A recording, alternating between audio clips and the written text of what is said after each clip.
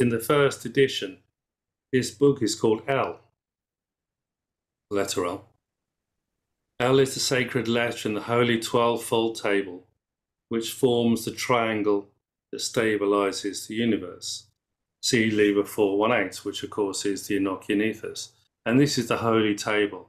So he's clearly, he's not mentioning um, Egypt or the pyramids or anything else. He's starting with, um, with, with Enochian and the holy table. And he also links these things explicitly, explicitly with the tarot as well. So we're all in an area that's, you know, this is not what's really discussed, but this is what it says to start with. So we have to take this on board. I'm not going to go through the Holy Table. Um, I just wanted to show you what it looks like because he mentions it.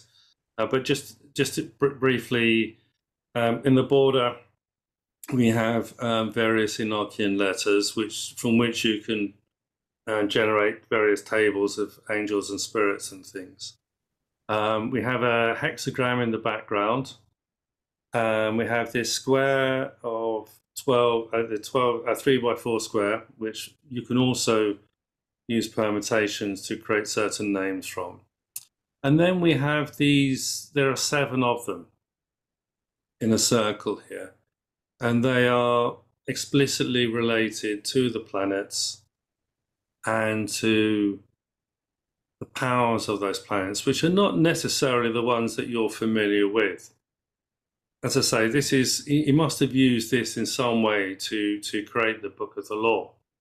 And one other thing about the Book of the Law, um, the title, the Book of the Law, is actually from Freemasonry, and the Book of the Law means the Holy Bible as simple as that. And Crowley, being a 33 degree Mason, would know this as well. So I'll just throw that out there. So he says, so, so first of all, he says the first edition of this book is called L. L is the sacred letter, the Holy Twelvefold Table, which forms the triangle that stabilizes the universe. Now, this triangle, we can infer, is probably in, in the comments below, which says L is the letter of Libra, balance, and justice in the tarot. And he's he spelled tarot T A R O, which um, is the preferred spelling. Um, one of the reasons is is that then you can turn those letters into Hebrew letters, and you get the number six seven one, which is also the number of Adonai, the Lord spelt out in full.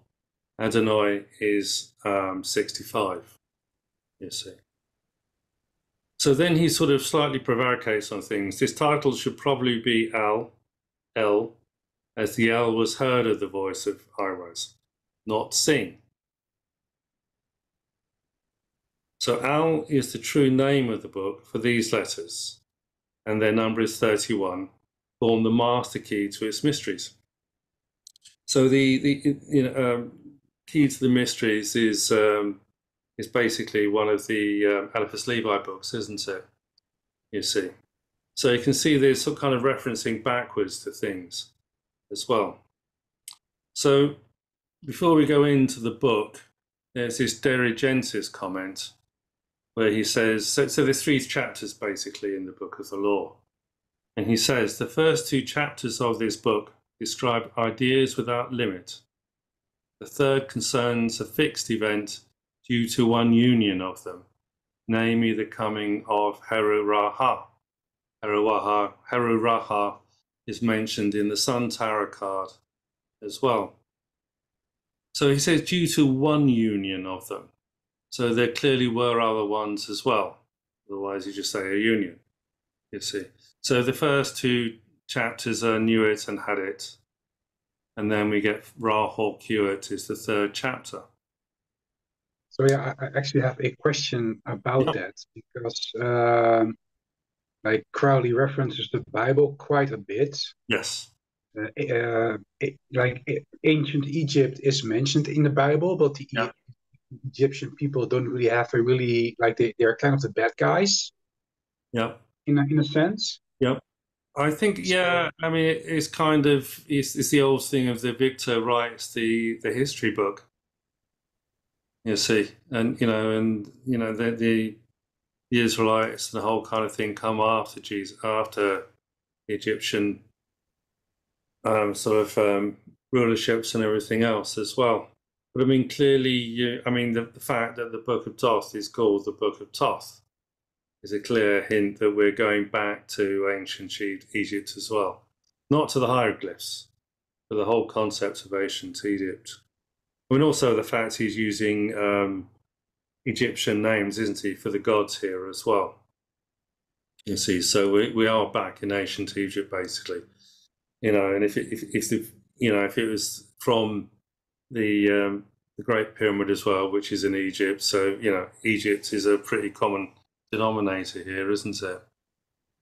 Then is it is it safe to say that he's uh, describing a spirituality which yeah came from Egypt and kind of uh, is contained in the Bible as well?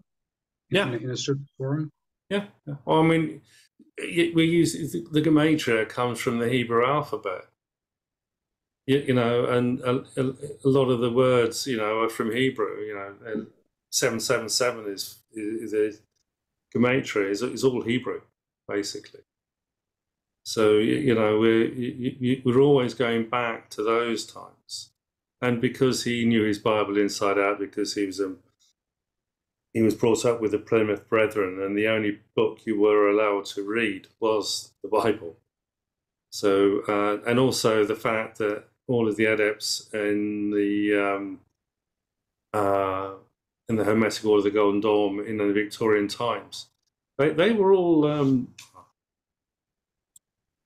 they they were all um, extremely familiar with the Bible. You, know, it, it was just a given thing that you would know your Bible and Scripture and chapter and verse on a lot of things. So it's only these days that we don't know the Bible as well because we don't get it rammed down our throat the way we used to. So then he says the contents of the chapter are instructions to those who are to govern his name, his aeon, in his name. And these rulers will appeal, appeal to me, the beast 666, for a comment upon the text when need is. Um, that's, that's, rather interesting English, isn't it? It's not easy if, if you're a natural English speaker.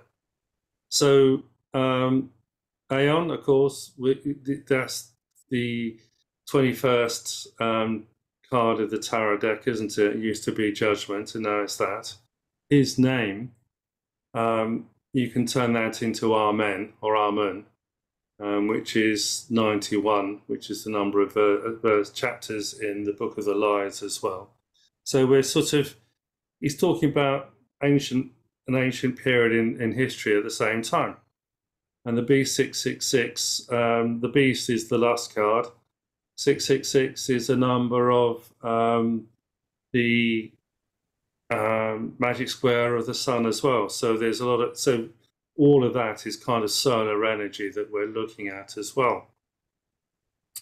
And he finishes that with Om Ha. Um, so, so there are three chapters, okay? And there are 66 verses in the first chapter. And the first verse starts, had the manifestation of Nuit. And in the Crowley's commentary, he makes the point that Nu, so he breaks Nuit down into NV, Nu, which is 65, which is the number of Adonai, the number of the tarot spelt in full.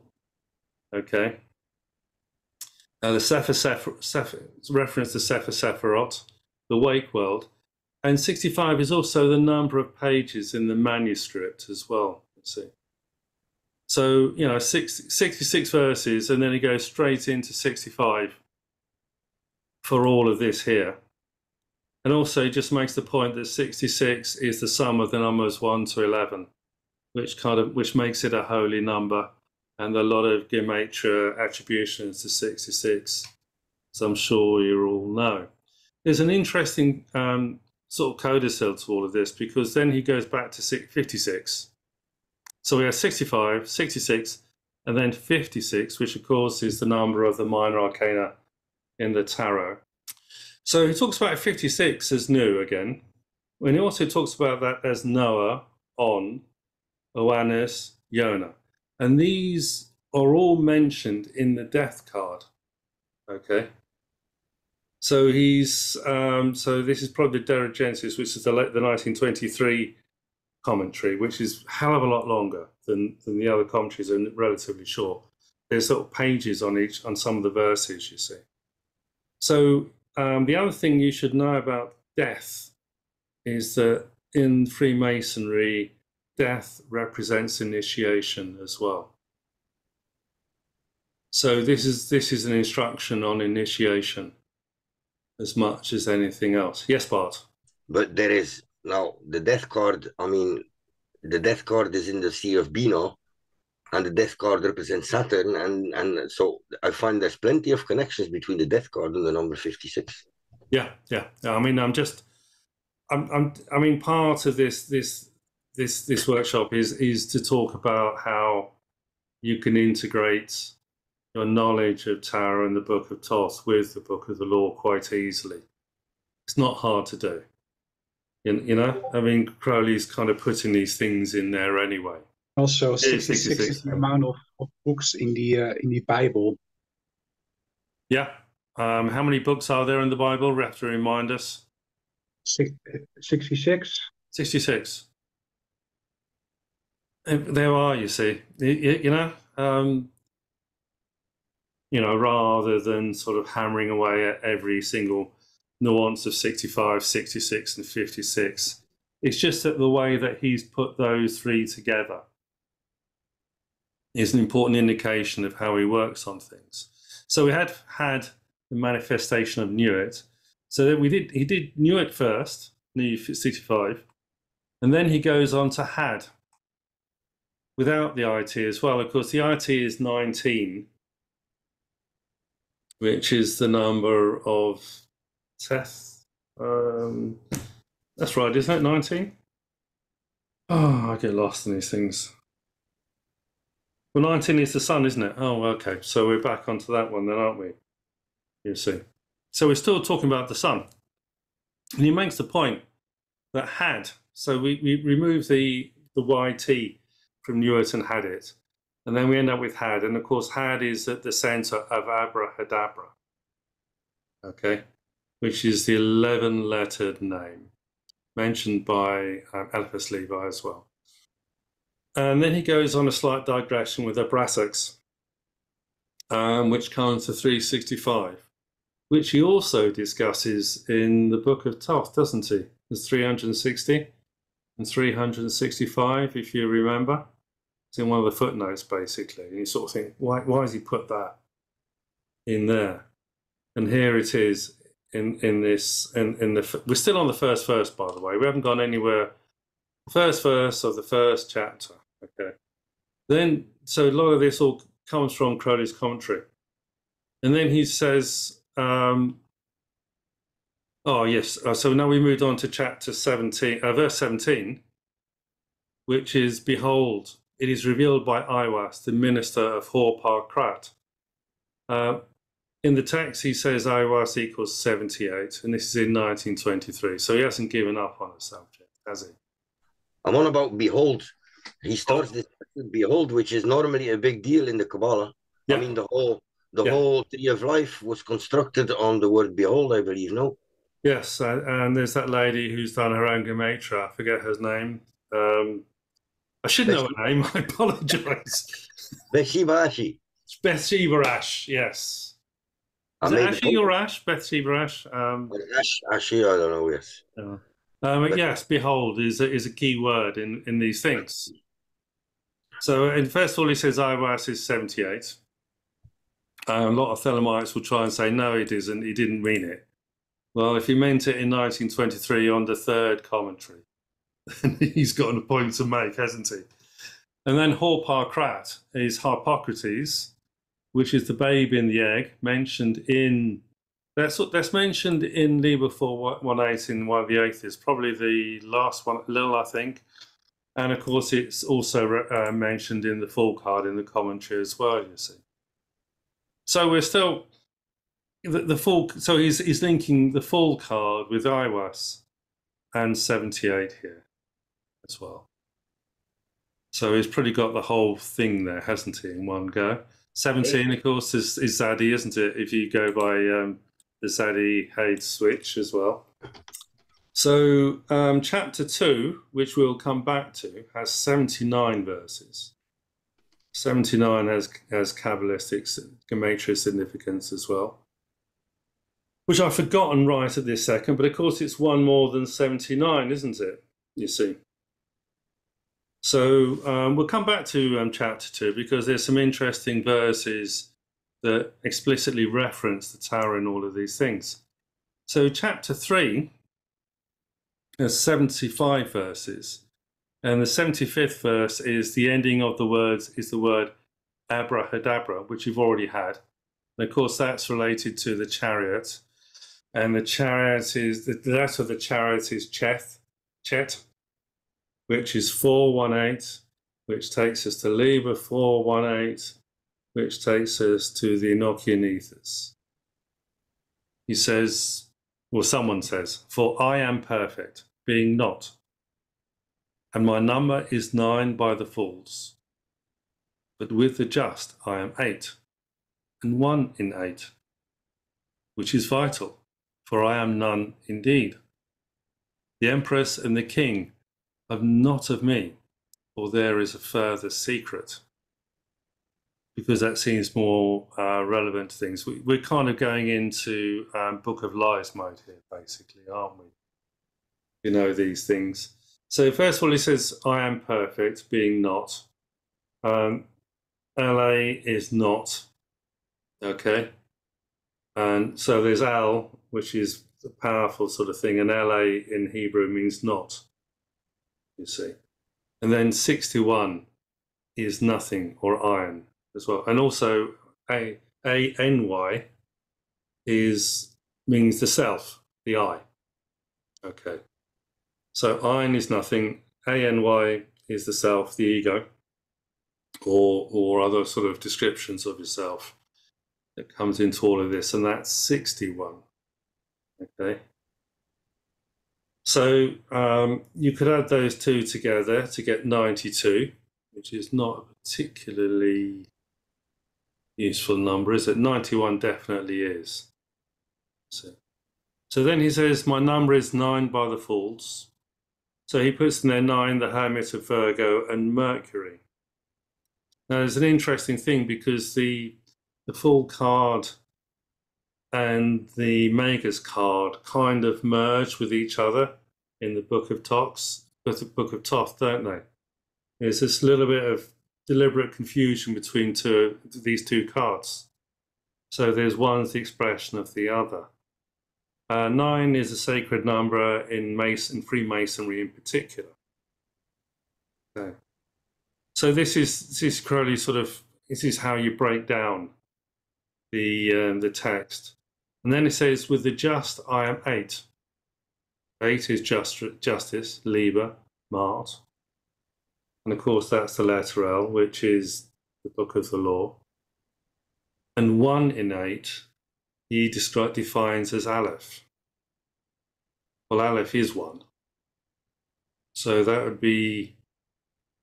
So we have nine with the Hermit and the, and, and the Virgo and the Magus card, with justice and the aleph in there as well. So you'd you'd have to go back to the adjustment card to sort of look back at his comments on those things. Is making sense? If it doesn't, don't. Um, it doesn't make sense to me half the time either, to be honest with you. So if it does, if it doesn't entirely sort of click in your head, it, it's it's probably normal. Then he says, which is vital for I am none, indeed. Well, none goes back to Ain as well. And then he puts in al or la in there, which is um, negation of things as well. So he's playing a sort of, a, he's doing a kind of wordplay on numbers and text here, isn't he, in the whole sort of thing. And then he switches. Yes, Bart. And his use of capitals as well makes me think sometimes. Yes, yes, And like when he says the, the former thing, he said, "Behold," yes. with an exclamation mark, and then Yes. it started with "it" or something, but with a small letter. So Yes. I think there is something more behind his use of capital sometimes. Yes, well, the exclamation mark is to do with the hunchback and the um, the other one. Um, basically, Soldier. and and hunchback and the Soldier, isn't it? soldier. Yeah, the Soldier. hunchback is a question mark, and the soldier is an exclamation mark. You see, so he talks about this also in the Book of Lies at the beginning, doesn't he? In, in the introduction. But he also does in the book of the law. Eh? Yeah, so he's doing the same thing here. Okay, so but of course the Book of Lies comes after the Book of Law. You see, so he's he's and the and there's the hunchback, the soldier and the hunchback um, needs to be referenced within within all of these things as well. So you can't read any of this stuff in isolation. You have to go backwards and forwards between the texts. So then he talks about the empress, which is Dalet, the third number three, and the king, Hey. Well, the king Hey is um, the letter Hey, H E H. He's he's explicitly relating to the king there to the emperor card, isn't he? So that'd be the empress and the emperor. Hey. So he hasn't done the switch here, has he? In this in this verse. He's also talking about the king's chamber here as well. Basically, Um, all, that's all going on. This, yes, Bart. Well, that's that that that Tzaddi switch. When I'm doing path working, and at a certain moment you come to the letter Tzaddi or Hey, Yeah. I swear it is so confusing to read Crowley because, I mean, he talks about contradiction everywhere, but Yeah. this is the part where he really contradicts himself. Eh? And uh, also, you have to read the the lovers cards because it says in the comment on the commentary that the previous this next sentence negates the previous sentence. And there's also this thing that uh, with um, we had a video we did ages ago, didn't we, about the, the Magus card about how things are flipped over and contradicted as well. So we're all in that area basically, as well. You see, so you could say technically we're in the supernal triangle if you wanted to go down that route as well. Yes. You know, except he's not particularly going down the uh, the Kabbalistic tree of life route here, is he? So this is um, still we're still in the second um, chapter, and then and so he says the Empress Dalet three, the King Hey is four, and not of me, and then the comment is three plus four is seven. Okay, so seven is I have to refer back. So I'm getting lost myself here, trying to do two things. Is the chariot? Okay. So we're back to the chariot again because that's number seven in the uh, Roman letters. Um, um, Yeah. If I would, I would see the Empress and the King are not of me. What would occur to me is the Empress is uh, one of the is, what is it primordial quintessences of being of the female of the the woman figure. Right. the emperor, the the hierophant, what the the, the king, sorry, the, the emperor, Yeah. he's one of the primordial quintessences of being of the father, which would mean he's referring to one of the hermaphrodite quintessences of being, which is either the fool or the magus. Yes. Yeah. That's All makes my- sense, doesn't it? Yes, it does. It's also referring to the magical child, I guess, right? Uh, well, the magical child, child is the third chapter. Ra-Hoor-Khuit. It's the union of the male with the female, or the point and infinity. And he says the explicit thing is the third, the third um, chapter is the union of the first two chapters. So there's the male and the female. Uh, I mean, Bart and I bashed to death the uh, three card readings, didn't we? it's, it's, it's exactly the same thing. we had some good laughs doing those. Oh, absolutely. But uh, you know, it, it's it's it's a fundamental thing. You know, it, I mean, you we we could you know every three card reading is a kind of commentary on what is going on here. So then we move on to verse sixteen of chapter two. He says, "I am the empress and the hierophant. Thus, eleven as my bride is eleven. Now, in the previous sentence that that I put in here, because I haven't done the whole shebang. I've sort of cherry picked a little bit. He says, The Empress and the King are not of me. Okay. And he added three to the four to get seven. Now, in this verse, I am the Empress and the Hierophant. The Empress is three and the Hierophant is six. Oh, hang on. Well, no, he, the way he's done this is, um, oh, bloody hell. Uh, the Empress is Dalet, which is four. The Hierophant is Vav, which is six. Then it comes to ten. Yes, Bart? Isn't the Hierophant the fifth card? After the Emperor, who's the fourth. Yes. Yeah, but but, But whichever six. way you do it, you don't get eleven No, eh? unless you add the I. So I, the Empress, and the Hierophant will give you eleven. So I am the Empress and the Hierophant, thus eleven, as my bride is eleven. Eleven, we've already established, is important um, because it's it's it's a ma- it's a number of magic and change, and it's to do in particular with the first chapter of the Book of the Law, because one to eleven is sixty-six, and eleven is the number of letters in Abrahadabra. So we had the king and the empress in all of this, and now we're back to um, the empress and the hierophant with the bride. So we had the empress and the king; they're kind of married, and the bride, um, she's marrying the hierophant in this one. Gets confusing, doesn't it? Um, so there's there's the Djeridensis comment, um, which which I've put up here as well.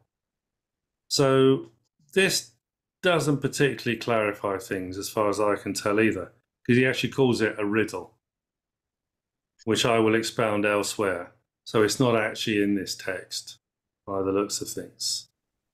But a great angel in very sooth spake in mine ear the words of his book. So um, you can take that what you will. So in the old comment, he says, I am the Empress and the Hierophant. Bow. Um, sorry, that shouldn't have been in there. So that's three plus four is. Uh, so now he's saying three plus five is eight. And eight is nine because both of the letters are in Abrahadabra equal 418 and Chet, and Chet is number eight. So he's actually going by the number eight here, not um, not the way I said it. Okay, even though he talks in there about the Empress and the King coming to seven, in the actual comments here, he's making it come to eight, just to make things a little bit more opaque than than I thought. And he says the key word of all this ritual so the ritual is Liber, uh, Liber 418, which is the um, uh, the Enochian ethers. And because 8 is not Leo strength, but Leo justice in the Tarot. And it, the, the, the final comment in all of this, which is as far as I was going to go this evening, he said it should be noted that Hu was the oldest name that the Egyptians ascribed to the Sphinx at Giza and the word means prince. So he talks about himself as a prince and priest and a prince prophet, doesn't he? And all of these things as well.